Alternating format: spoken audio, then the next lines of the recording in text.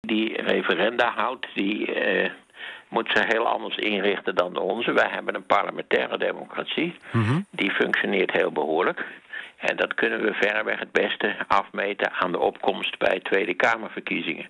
Die was afgelopen keer was het 75 procent.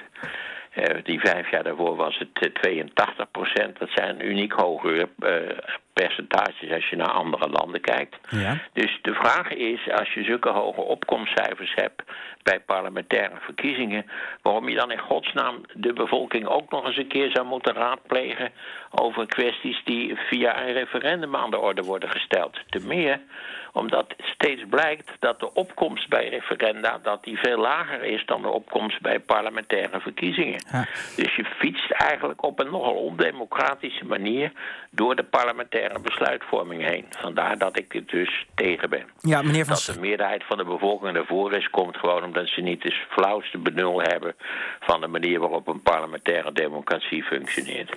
Ja, meneer Van Schiet, dat zijn uh, heel wat verwijten. De opkomst is al hoog genoeg bij de gewone Kamerverkiezingen. Dus we hebben zo'n referendum helemaal niet nodig, zegt meneer Van Rossum. Uh, hoe denkt u daarover? Nou, bij gewone verkiezingen zijn er natuurlijk tal van onderwerpen aan de orde. En over specifieke wetten daar kan de bevolking op dat moment niet duidelijk maken hoe ze erover denkt. Uh -huh. En er wordt heel vaak gezegd dat het ook eigenlijk strijdig zou zijn met het parlementaire vertegenwoordigende stelsel.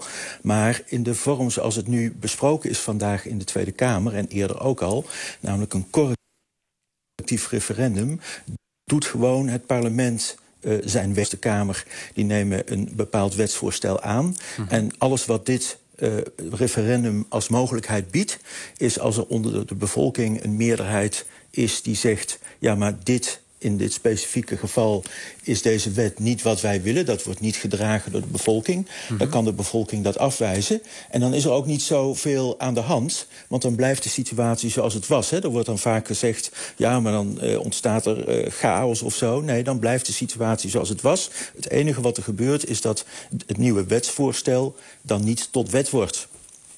Het werkt ook in tal van landen gewoon uh, samen met een parlementair stelsel. Hè. Vaak wordt gezegd, ja, men kent dat dan in Zwitserland... maar er zijn tal van landen met een parlementair stelsel... die een referendum hebben in deze vorm. Ja, het is dus ook bijvoorbeeld anders, anders dan het uh, brexit-referendum... waar het niet over een bestaande wet ging... maar er echt een, een nieuw initiatief gelanceerd werd.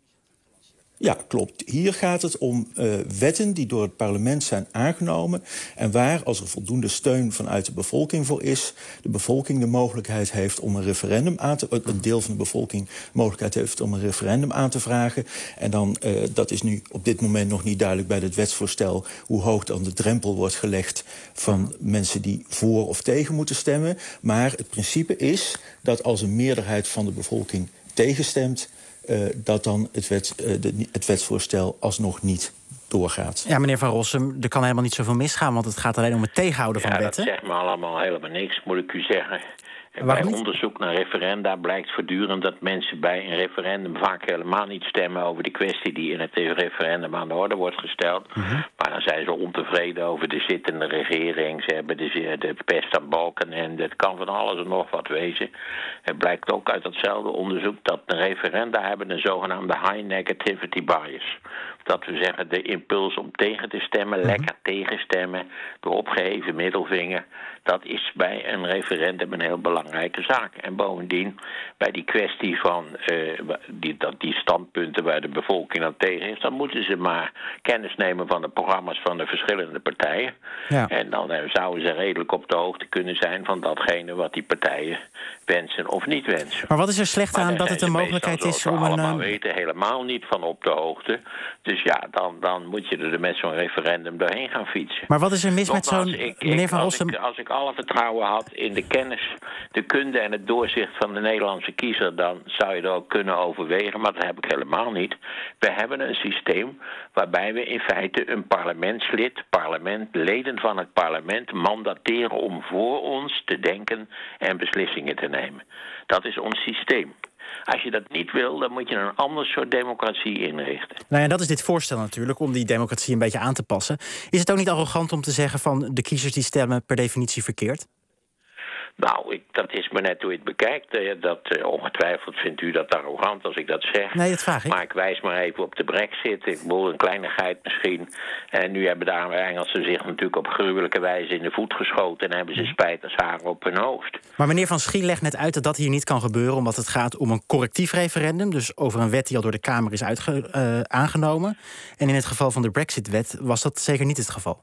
Nee, maar dat, je zult zien dat, dat in, ook in die referenda allerlei kwesties aan de orde worden gesteld. Of dat zou kunnen dat je in de wetgeving over het referendum...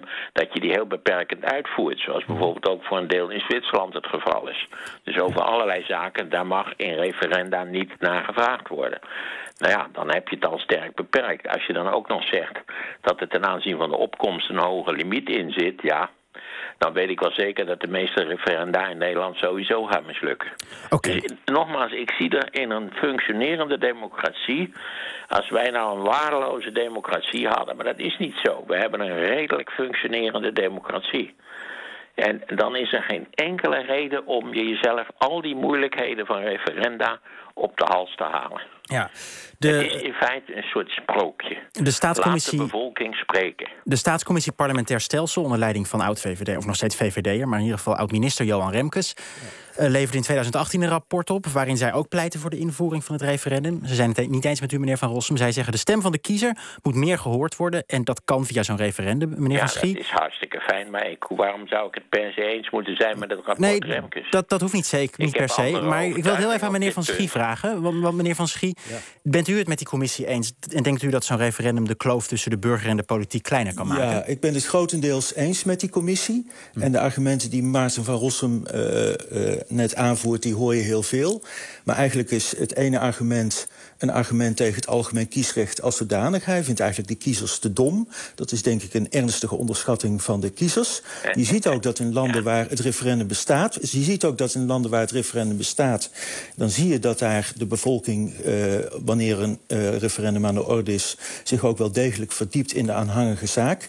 En het tweede deel, hè, wat hij zei... ja, de kiezers stemmen vaak nee en dat is ongewenst. Dan laat je dus het uh, instrument dat je in de democratie gebruikt afhangen van de door jou gewenste uitkomst. Nou, dat lijkt me niet een juiste manier nee, om over uh, democratische instrumenten te praten. Dit is een heel oud argument. Hè. De kiezers zijn conservatief. Maar dat doet niet ter zake, want de principiële vraag is... of de kiezers in bepaalde gevallen aan de noodrem mogen trekken... als zij het duidelijk met een bepaalde wet niet eens zijn.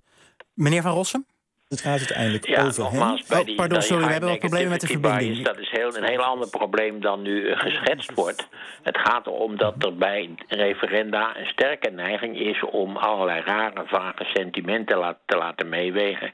die met het referendum iets te van doen hebben. Ik, ik zou ook wel eens willen ja, weten niet waar, niet, wat, dan, wat we dan klopt. moeten denken over zo'n referendum... als we ooit hadden namelijk. Mhm. Dat was dat referendum over die uh, handelswetgeving met de Oekraïne... Eh, waar je dus ziet dat de, de opkomst laag is. En, eh, en, ook dat praatje dat de kiezers daar eh, enorm veel verstand van hadden, daar geloof ik natuurlijk geen donder van. Dat was helemaal niet waar. De kiezers hadden geen idee. In feite was dat referendum Ja, dat gericht op het verdacht Ja. maken van de Europese Unie. Ook daar zie je weer hoe verwarrend zo'n referendum kan werken. Ja. De opkomst bij dat referendum was 31 procent. 1 procent boven wat het absolute minimum was. Ja, dan, dan en bovendien Dat kun je 60 ondervangen. stemde Ja, meneer- tegen. Dus 18% van het Nederlandse electoraat Dat- was tegen. Meneer Van Schie wil graag reageren, meneer je- Van Rossum. Dat, dat kun je ondervangen door opkomst- of uitkomstdrempels te stellen. Dat Mhm. is ook precies wat aan de orde is. Het referendum uit 2005, daar was de opkomst 63 procent, al aanzienlijk hoger. Dus eh, dat is allemaal eh, te ondervangen. En eh, wanneer het gaat om dat voldoende mensen moeten stemmen... dat eh, geldt ook niet bij gewone verkiezingen. Het Europees Parlement, eh, daar is in Nederland ook wel eens... eh, voor gestemd met een opkomst van 39 procent. Dat is Ja. ook ver beneden de helft. En toen is ook niet gezegd... nou, uiteindelijk zijn deze verkiezingen niet geldig. Dus op zich valt er wat voor te zeggen... dat je een zekere opkomst of een bepaalde mate van uitkomst moet hebben. Eh, Dat dat is een technische discussie, doet misschien niet zoveel te zaak... maar dat voldoende mensen aan de referendum moeten hebben deelgenomen. Daar kun je gewoon drempels eh, in aanbrengen Ja. die wel werkbaar moeten zijn. En dan kun je dat eh, probleem dat gestemd zouden hebben prima ondervangen. Ja, ik ben wel benieuwd, meneer Van Schie, want de staatscommissie Remkes doet daar wel een aanbeveling over. Die zeggen je moet 400.000 handtekeningen ophalen. Dan kan er zo'n referendum komen. En dan moet 33,3 procent van de opkomst van de laatste Tweede Kamerverkiezingen. Die moet nee stemmen. En dan moeten er ook nog meer nee dan ja-stemmers zijn voor zo'n voorstel. En dan wordt een wet tegengehouden. Vindt u dat een goede richtlijn? Ja, je kunt, je kunt uh, discussiëren of dat 33,3 of 30 procent of 25 procent moet zijn. Mhm. Bij het vorige wetsvoorstel was die door een amendement van de ChristenUnie op 40 procent gelegd. Dat betekent eigenlijk dat je zegt, in geen enkel geval kan een referendum worden gehouden waarbij de kiezers nog echt aan de rem kunnen trekken. Dus dan wordt het een fopspeen. Dus je moet het wel zodanig leggen dat het ook reëel wordt dat mensen inderdaad een uh, wet nog kunnen tegenhouden. Ja. Maar uh, dus over precieze drempel, dat was vandaag ook in de Kamer. Daar kun je nog uh, over debatteren binnen een bepaalde marge van zeg tussen de 25 en 33,3 procent die tegen moet zijn. En natuurlijk moet dan, moeten er dan meer tegen dan voorstanders zijn. Dat spreekt vanzelf.